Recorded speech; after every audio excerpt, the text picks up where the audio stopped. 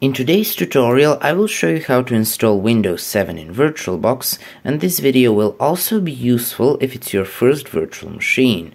But before you set it up, I always advise that you create the virtual hard disk, which is basically an enormous file that acts as the VM's C drive. And for this we will use disk management. Type diskmgmt.msc in the run box. The reason I don't want to stick with VirtualBox is the file extension. Say, VirtualBox creates .vdi hard drives while disk management uses the .vhd format which you can mount in File Explorer and manipulate directly. In the action menu, choose Create VHD, then click on Browse and write a file name. After you save it, click on the drop-down to select gigabytes, then input anything between 30 and, say, 60 depending on what you want to do with the VM. Since I've already created my drive, which takes some time, I will select megabytes just to show you how it works.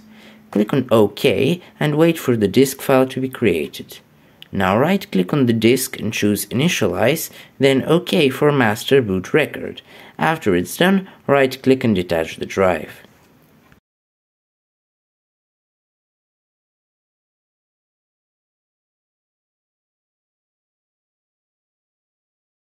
Go into VirtualBox and create a new VM. First you have to type in the name, and if you write Windows 7 it will automatically select the appropriate OS without you having to choose it.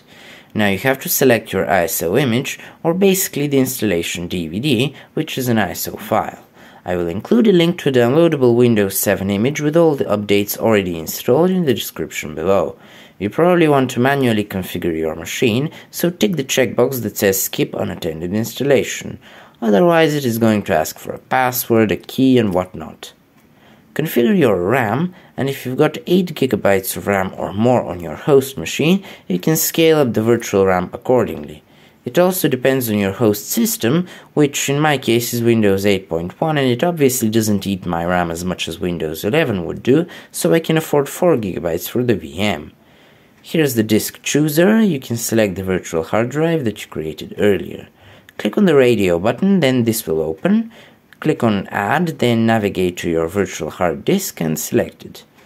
Uh, click on choose and it will add it to the VM. After that you're done and you can click on finish.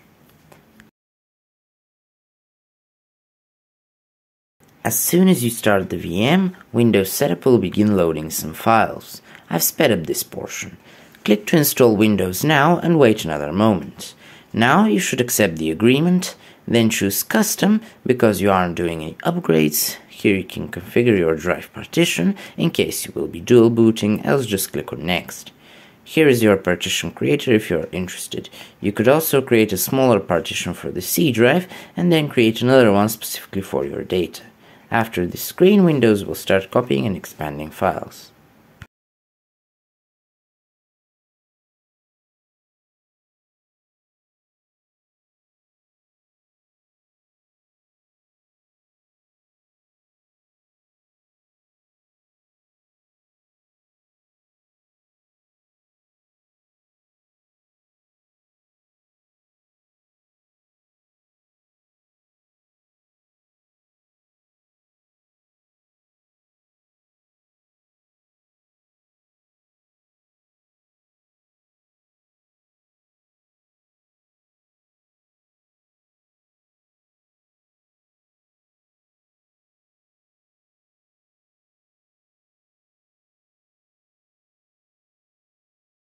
Okay, time for the OOB or out of box experience.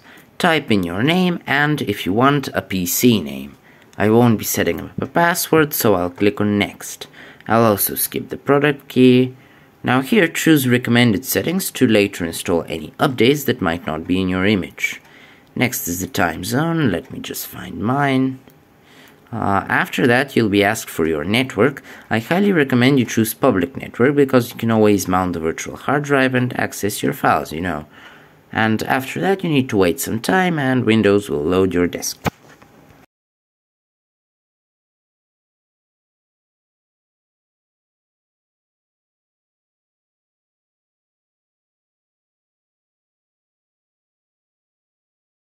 And the final step is to install the guest additions. VirtualBox provides such integration drivers that fix the resolution, add a better mouse pointer, and make the VM easier to use. I think the installation is straightforward, but you'll need to restart afterwards. And that's it for today's video. I hope it was useful. For more in-depth tutorials, please subscribe to the channel.